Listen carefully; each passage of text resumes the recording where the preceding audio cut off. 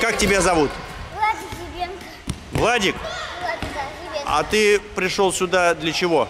Ну, чтоб сильнее быть. Чтоб сильнее быть? Да. А ты же и так сильный. Ты смотри, ты два мяча поднимаешь. Павловский, а. А скажи, а что ты здесь делаешь? Чем занимаешься? Там играю, там занимаюсь, бегаю. А что такое дзюдо? Спорт. А ты знаешь, где придумали дзюдо? В какой стране? Знаешь, в какой стране дзюдо придумали? В какой стране дзюдо придумали?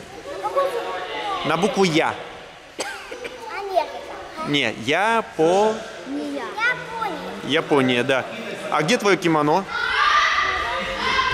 А, нету. Нету кимоно? А как зовут твоего учителя? А я. Ты еще не познакомился? Да? Николаевич. Владимир Николаевич. Хорошо. А когда тебе будет сто лет, ты будешь заниматься дзюдо? Да. Да? Молодец.